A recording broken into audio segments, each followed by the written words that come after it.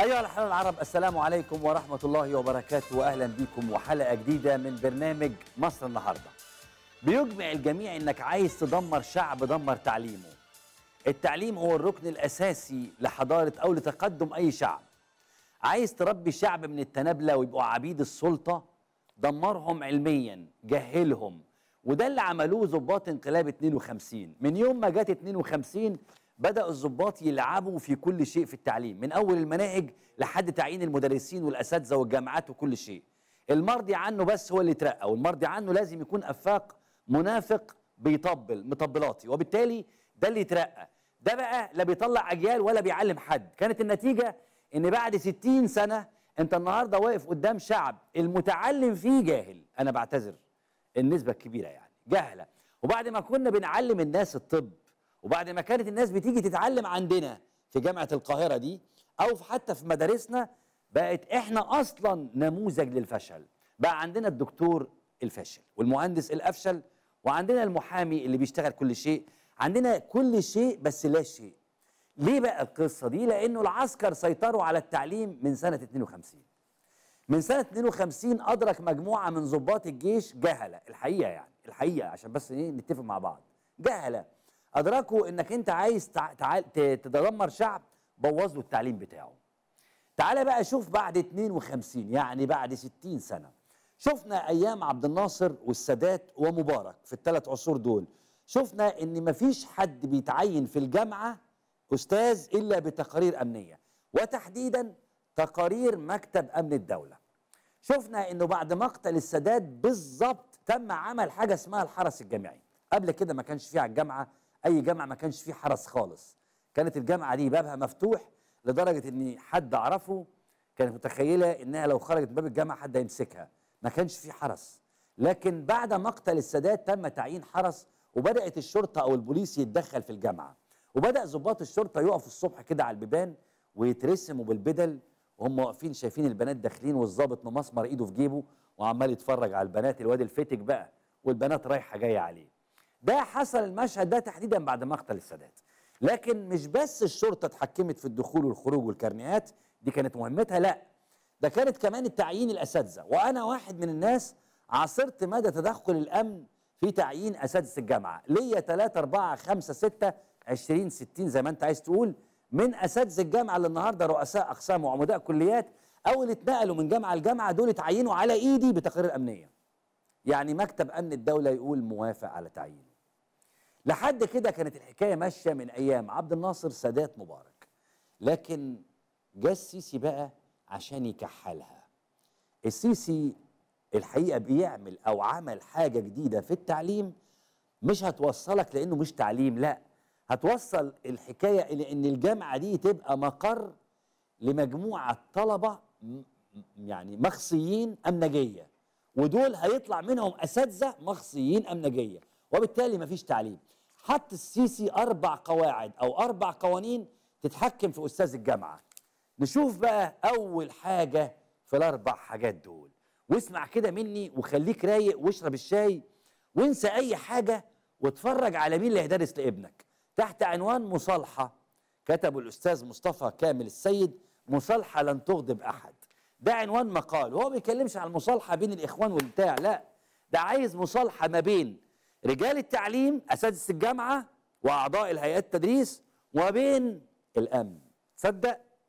مش مصالحة بين الإخوان والأمن لا. وإن الذين رفعوا السلاح والحاجات دي والإرهابيين ده عايز يعمل مصالحة بين الأمن وبين أجهزة الجامعة. اسمع بيقول إيه بقى. وصل لحد كده بيقول لك إيه؟ بيقول لك إن اتحط أربع قواعد جديدة في التعليم. أول قاعدة بيقول هي أسلوب اختيار القيادات الجامعية من العمداء ورؤساء الجامعات. وهو بيقول أنا واحد من الناس اللي كاتب السطور دول كنت مع الفكرة اللي طرحها الأستاذ الدكتور معتز خورشيد أيام ما كان وزير تعليم في حكومة الدكتور عصام شرف. الحكاية دي كانت بتقول إيه يا علي؟ كانت بتقول ببساطة إن تعيين العمداء ورؤساء الجامعات تبقى بالانتخاب. هو كان مع النمط ده وبيقول النمط ده أو الطريقة دي جابت أساتذة جامعة كفء منهم هالة السعيد اللي بقت وزيره الاستثمار دلوقتي. اذا كانت انتخابات أهي جه واحد اسمه معتز خورشيد ربنا يخليه في حكومة عصام شرف قال يا جماعة ما فيش حاجة اسمها الدولة تعين.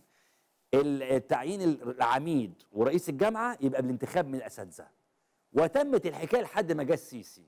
السيسي جه عمل إيه بقى؟ بص بقى.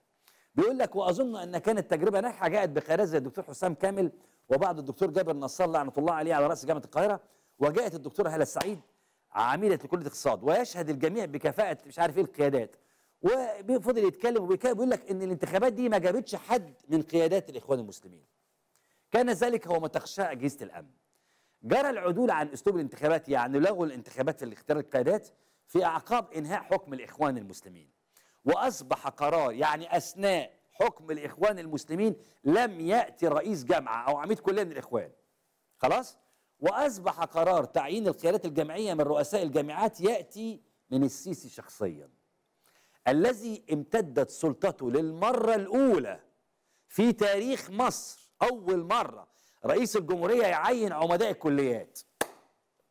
لن أجادل هنا النظامين أفضل ولكن من الواضح إن تحويل السلطة دي لرئيس الجمهورية يلقي عليه أعباء هو في غنى عنها.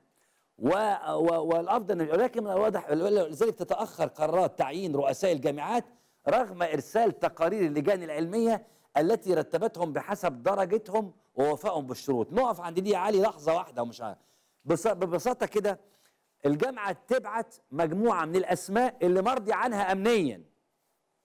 خلاص؟ مرضي عنها امنيا. الجامعة تبعت الأسماء دي لرئيس الجمهورية. هو قاعد في البيت. ف آه لا آه يعني الجامعة بعتها له. آه متوافق عليهم امنيا مطمنين ليهم معرضين بتوعنا ومع ذلك ومع ذلك تتأخر أيضا قرارات تعيينهم. ولذلك تتأخر قرارات تعيين رؤساء الجامعات رغم إرسال تقارير اللجان العلمية التي رتبتهم بحسب درجة وفائهم بالشروط المفروضة. ويصل الامر أيضا لعدم قبول رئيس الجمهورية بعض هذه التوصيات من اللجان الجامعية. أو اختيار من لم يكن على رأس القائمة الموصي بهم. يعني السيسي بيبقى قاعد كده بيجي له القائمة لا أنا ما قلتش عايز دول يا جماعة. أنا مش عايز دول خالص. أنا دول مضايقني. هم ما يعرفهمش. دول متوافق عليهم امنيا بس مضايقني. وأدى ذلك إلى بقاء جامعات وكليات عديدة بدون رؤساء ولا عمداء لسنوات. ولكن المهم هنا وأنا أفترض إن رئيس الجمهوريه يتخذ قراره بناء أيضا على توصية أجهزة أمنية عديدة أجهزة أمنية ولا أظن أن أي من القيادات التي جرى تعيينها لم تكن تحظى بموافقة اجهزه الأمن. ولذلك بيثور السؤال إذا كانت كل قيادات الجامعة التي جرى تعيينها منذ يونيو 2014 هي من المرضي عنهم امنيا ولا أعتبر ذلك قدحا فيهم ولكن ألا يستدعي ذلك أن نثق فيهم هذه أو تثق فيهم هذه الأجهزة وتترك لهم إدارة الجامعة التي يفترض أنها مستقلة دستوريا عن السلطة التنفيذية؟ وإذا ما أهملوا في الوفاء باعتبارات الأمن القومي كما تفهمها أو تفهمها هذه الأجهزة. سيكون بوسعها لاحقا إنها تعترض على تجديد تعيينهم أو تجيب آخرين بيحلوا محلهم ويحظوا برضاهم.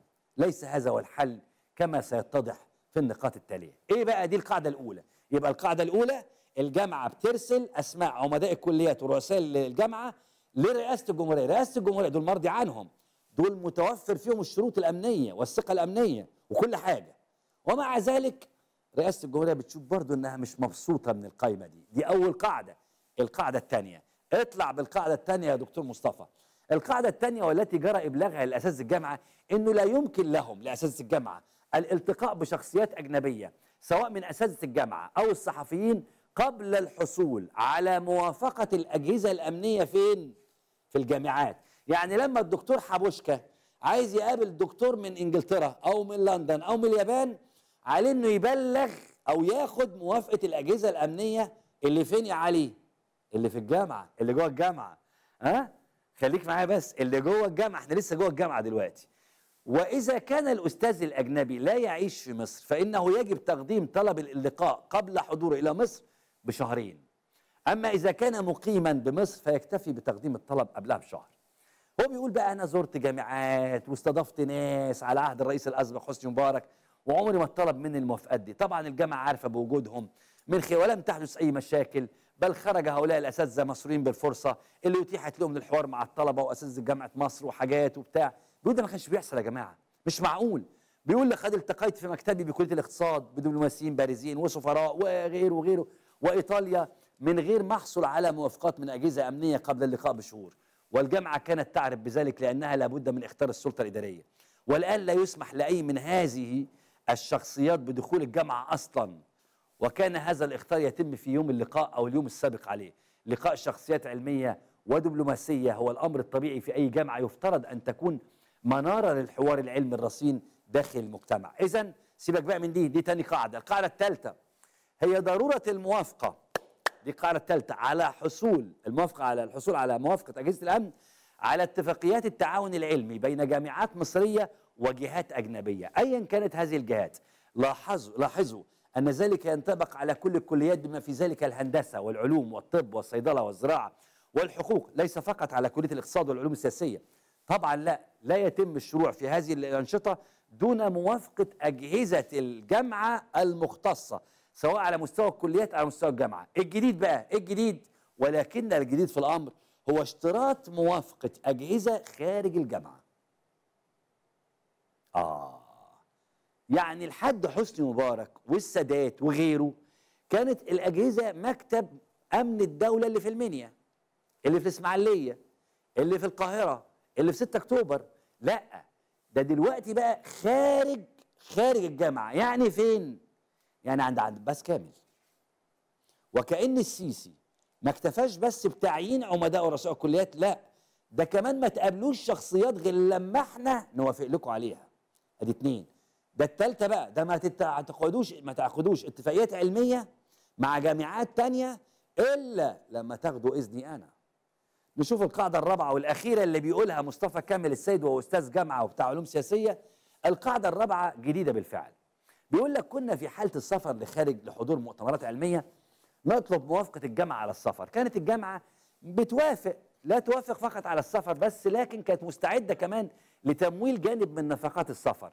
كان ده بهدف تقديم بحث علمي وهو إجراء معروف في كل جامعات العالم. وفي حالاتي تحديدا سيبك من دي بقى بيقول لك أنا ما كنتش باخد فلوس عشان أسافر وبتاع وإني لا أطلب من الجامعة المساهمة. كانت هذه الموافقات تتم بيسر وإن لم تكن تثير أي مشكلة جديدة. الجديد في الشهور الأخيرة إنه أصبح من المطلوب من كل أستاذ جامعي عايز يسافر بره إنه يملى استمارة أمن من خمس نسخ. يعني هتروح لخمس جهات. يا اخوانا اتعلموا في الحكومة بقى. لما يقول لك مطلوب نسختين من حاجة يبقى كل نسخة رايحة حتة مطلوب خمس نسخ استمارة يملاها الدكتور عشان يسافر بخمس صور وأن ينتظر الموافقة الأمنية على سفره وبيقول أزعم أني كثير السفر لحضور أنشطة علمية في الخارج وذلك منذ عودتي بعد انتهاء دراسة الدكتوراه في العام الأخير للرئيس السادات ولم يسبق اطلاقا طلب تقديم مثل هذه الاستمارة. حط بقى الأربع خلاط الأربع قواعد واضربهم في بعض في خلاط. تعيين الأساتذة ورؤساء الجامعات والعمداء عند السيسي. الالتقاء بشخصيات جاية من بره عند السيسي. عقد أي اتفاقات علمية بين الجامعة أو أي جامعة تانية علمية بره أو معهد علمي بره عند السيسي. إن الدكتور نفسه يسافر يروح يسافر يعني رايح يسافر ياخد موافقة السيسي حط الأربعة دول إيه بقى النتيجة النتيجة بيقول بالظبط كده الأستاذ الجامعة مصطفى كامل السيد النتيجة إنك أنت هتخرج من تصنيف الجامعات في العالم. هو اللي بيقول كده مش أنا. لا لا لا لا. إيه يا علي؟ مستعجل عليه يا علي ليه النتيجة بقى. ما الذي يعنيه كل ذلك؟ رؤساء الجامعات وعمداء الكليات يتم تعيينهم بموافقة أجهزة أمنية. بيقول لك يعني أنتم مش واثقين في الناس دي؟ مش واثقين في اللي بتعينوهم؟ حتى يضمنوا الا يهدد اساتذه الجامعة الأمن القومي. وما هو مصدر التهديد لهذا الأمن؟ بعد أن جرى فصل العديد من اساتذه الجامعة ممن وردت اسمائهم على قمة الكيانات الإرهابية. وقعد بقى يتكلم في القصة دي وبيقول يعني هم اساتذه هم الظباط أكتر وطنية من اساتذه الجامعة. مش معقول. وبيتكلم على السفر وبتاع مش عارف بيجي يقول لك إيه بقى هنا بقى. بيقول لك إيه بالظبط كده. ويمكن أن نتوقع لا يمكن خلاص؟ وإلى جانب ذلك كله كيف في ظل كل هذه القيود على السفر لحضور مؤتمرات وأنشطة علمية والدخول في علاقات تعاونية مع جامعات أجنبية ولقاء أجانب في جامعة القاهرة يمكن أن نتوقع تحسن ترتيب الجامعات المصرية في التصنيفات العالمية؟ وبعض هذه الأنشطة اللي هي السفر وحضور مؤتمرات والأنشطة بعض هذه الأنشطة هي من معايير هذه التصنيفات. وكيف يمكن أن تتحقق دعوة الرئيس لاستخدام فروع للجامعات الأجنبية الشهيرة في مصر؟ وبعدين خاف. خاف. ما هو بسم الله يعني بسم الله الحفيظ. قال لك لا أظن إن دعوتي لإزالة هذه الجفوة بين أجهزة الأمن وأساتذة الجامعة يمكن أن تغضب أحد إلا الذين لا يريدون الخير لمصر. وأظن أنه من نافلة القول أن أذكر بأنه في عصر الثورة العلمية والتكنولوجية اساتذه الجامعات لا يهددون أمن الوطن بل هم طليعة التقدم فيه بما ينقلون وبما يولدون من معرفة. أنا بس عايز أقول لحضراتكم ده تلخيص لفكرة يسقط حكم العسكر. ده تلخيص للاستبداد. هذا هو تعريف الاستبداد. والسيسي ونظامه المستبد قاصد ده بالتحديد. كده يطلع عندك أستاذ جامعي مش بس بيطبل لا. ده اللي مرضي عنه بس هو اللي هيسافر ده اللي مرضي عنه بس هو اللي هيترقى ده اللي مرضي عنه بس هو اللي هيتعين وبالتالي في نفاق السيسي عشان ده يحصل فليتنافس المتنافسون. كل اساتذه الجامعة هتتنافس عشان تلحس نعل جزمة ضابط أمن الدولة في أي ج... ناحية أي جامعة. كل اساتذه الجامعة هيتنافسوا عشان يلحسوا لمؤاخذة بتاع السيسي. كل اساتذه الجامعة وبالتالي السؤال أستاذ الجامعة اللي هيعمل كده هي... هيدرس للطلبة إيه بقى؟ طيب الطالب لما يشوف الأستاذ بتاعه عامل كده هيبقى الطالب عارف إن سكة النجاح إيه؟ ببساطة إنك تطبل إنك تنافق إنك تبلغ عن زمايلك. فين بقى العلم؟ خلص العلم. دي أو ده تعريف واضح لمعنى دولة الاستبداد اللي هي تجهيل الشعب. وبعد كده يطلع بعض المثقفين يقول لك الشعب ده هيفضل جاهل طول عمره. هو مين اللي جهله يا روح أمك؟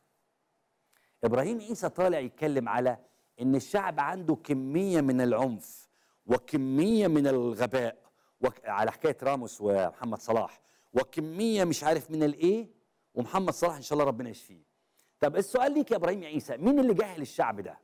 مش نظام عبد الناصر اللي أنت كنت واحد من دراويشه مين اللي جهل الشعب ده؟ ومين بيعمل أيضا على تجهيل الشعب؟